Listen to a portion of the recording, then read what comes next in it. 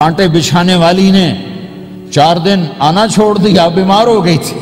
تو آپ نے کیا بات ہے؟ وہ ہمارے راستے میں اب کانٹے کوئی نہیں ہیں۔ کہا، یہ وہ بیمار پڑی ہے جو کانٹے بچھاتے تھے تو آپ اس کے گھر چلے گئے۔ ماں جی خیریت تو ہے اب ٹھیک تو ہیں۔ کہا، بیٹا، مجھے کلمہ پڑھا دے بس۔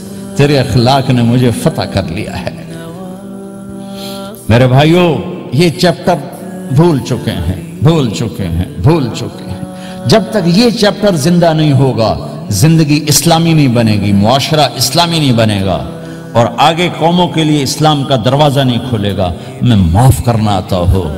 ہمیں گالی دینے والے کو دعا دینا آتا ہو۔ غیبت کرنے والے کی تعریف آتی ہو۔ اور غیبت کرنے سے، غیبت سننے سے اپنے آپ کو ایسے بچاؤ جیسے زہر سے بچاتے ہو، اسے آگ سے بچاتے ہو۔ ایک دوسرے کو نفرت کا بول نہ بولو، ورنہ ساری زندگی تباہ و برباد ہو جائے گی۔ میرے رب کی قسم میرے نبی نے کہا، ایک زبان کا بول انسان بولتا ہے اور جہنم کی گہرائیوں میں گر جاتا ہے۔ اور ایک زبان کا بول انسان بولتا ہے اور جنت کے درجات پر چڑھ جاتا ہے۔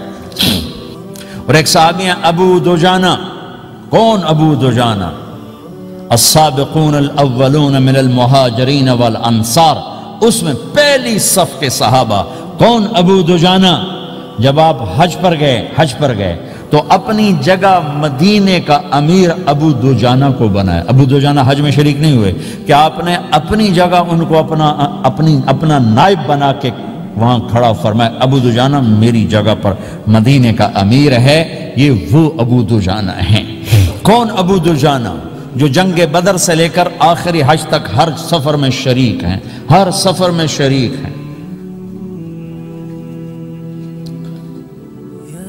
کی ایک بات میں بتانا چاہتا ہوں۔ پہلے تھوڑی سی ان کی ہسٹری بتانا چاہتا ہوں۔ کون ابو دو جانا بہت کی جنگ میں آپ نے تلوار اٹھائی۔ کہ اس تلوار کو کون لے گا؟ کئی صحابہ کھڑے ہو گئے۔ آپ نے کہا، اس تلوار کا حق کون ادا کرے گا؟ سارے بیٹھ گئے۔ تین آدمی کھڑے رہے۔ ایک زبیر بن عوام، ایک عمر بن خطاب، ایک ابو دجانہ۔ ان کا نام ہے سماق بن خرشہ۔ خرشنہ سماق بن خرشنہ ان کا نام ابو دجانہ سے مشہور ہے۔ تو آپ نے تلوار نہ عمر کو دی، نہ زبیر کو دی، ابو دجانہ کو دی۔ تھی تو عمر رضی اللہ عنہ نے تو محسوس نہیں کیا، حضرت زبیر نے محسوس کیا کہ اس کو کیوں دی، مجھے کیوں نہیں دی؟ میں مہاجرین میں سے ہوں، میں پھوپھی کا بیٹا ہوں، میں اس سے دلیری میں کم نہیں ہوں، بلکہ حضرت زبیر کی دلیری کی تو دھک تھی۔ جدھر سلوار چلتی تھی، کاٹتی چلی جاتی تھی، کہنے کہ میں دیکھوں گا یہ کیا کرتا ہے۔ تو ابو دجانہ کے پیچھے پیچھے زبیر ہو لیے۔ تو ابو دجانہ نے جو حملہ کیا تین ہزار کا لشکر تھا، اس کو چیر کے پار نکل کے، پورے لشکر کو کاٹ کے پار نکل کے۔ اور آگے عورتیں کھڑی تھیں جو مکے کے لشکر کو تیار کر رہی تھیں۔ نحن بنات تارقی نمشی علی النمارقی، مشی القتل بوارقی المسك في المخالق، المسك في المفارق والذر في المخالق. ان تقبلوا نعانك وتدبروا نفارق، فراق غیر وامق. یہ گانا گا رہی تھی اور ان کو تیار کر رہی تھیں۔ تو جب ابو دجانہ کی تلوار نظر آئی تو سب بھاگی ہندا پکڑی گئی تو آپ نے یوں اپنی تلوار ہندا کے سر پر رکھی۔ انہوں نے چیخ ماری، تلوار ہٹا لی۔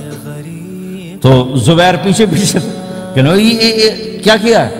جنگ میں اگر کوئی عورت حصہ لے، اسے مارنا جائز ہے۔ ویسے جائز نہیں ہے عورت کو، بچے کو، بوڑھے کو ہاتھ لگانا جائز نہیں ہے۔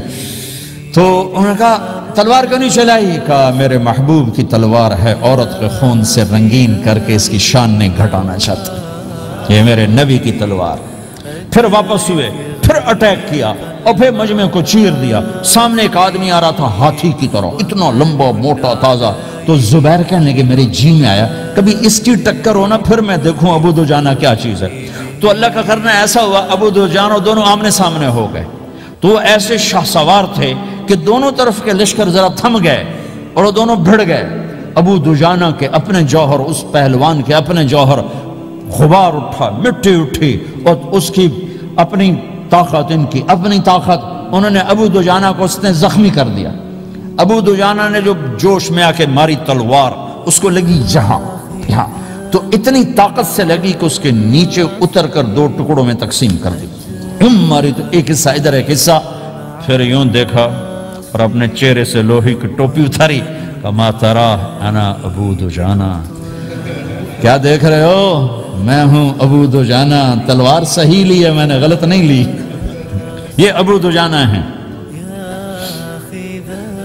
اور جب شکست ہو گئی احد کی جنگ میں، اور پھر دس بارہ آدمی نے آپ کو گھیرے میں لیا ہوا تھا، ان میں ایک ابو ابو بکر تھے، عمر تھے، علی تھے، طلحہ تھے، زبیر تھے، سعد بن ابی وقاص تھے، اور سہل بن حنیف تھے، عبادہ قطادہ بن نعمان تھے اور ابو دجانہ تھے رضی اللہ تعالی عنہم۔ ان میں سے ایک ابو دجانہ بھی تھے۔ اور یمامہ کی جنگ میں ابو دجانہ شہید ہوئے۔ یمامہ کی جنگ میں شہید ہوئے۔ یہ ابو دجانہ کی تھوڑی سی سیرت آپ کے سامنے آئی ہے۔ اس کے بعد اب آپ ان کے قول کو سنو تاکہ اس کا وزن آپ کے سامنے آئے۔ یہ بدر کے شریک ہیں۔ اللہ کے نبی نے کہا، بدر کا صحابی جو مرضی کرے بخشا گیا۔ یہ صلح حدیبیہ کے شریک ہیں۔ اللہ نے قرآن میں کہا رقد رضی اللہ، میں ان سے راضی ہو گیا۔ یہ صحابی ہیں۔ اللہ نے کہا، قلن وعد اللہ الحسنہ۔ اے میرا نبی، تیرے ہر صحابی کے لیے جنت کا وعدہ ہے۔ اور اب یہ کیا کہتے ہیں؟ یہ کیا کہتے ہیں؟ لوگو، ان ارجا عملی عند لوگو میرے پاس، ابو دجانا میرے پاس بخشش کا سب سے بڑا عمل جانتے ہو کیا ہے؟ بدر نہیں، احد نہیں، حدیبیہ نہیں، خندق نہیں، خیبر نہیں، فتح مکہ نہیں، آخری حج نہیں۔ کیا ہے؟ کیا ہے؟ لوگو، ان ارجع عملی عندی، میرے پاس آخرت میں بخشش کا سب سے بڑا عمل بس ایک ہے۔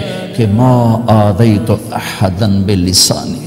میں نے اپنی زبان سے کبھی کسی کو دکھ نہیں پہنچایا۔ ولا اجد فی قلبی غلا لأحد۔ اور میرے دل میں کسی کے لیے بغض کوئی نہیں ہے۔ بس یہ میری بخشش کا عمل ہے۔ تو بھائیو، نبی کے اخلاق میں دو چیزیں لے لو۔ ایک زبان سے کسی کو دکھ نہ دو۔ ایک دل میں کسی کا بغض نہ رکھو۔ اللہ کی قسم بغیر حساب کتاب کے جنت میں جاؤ۔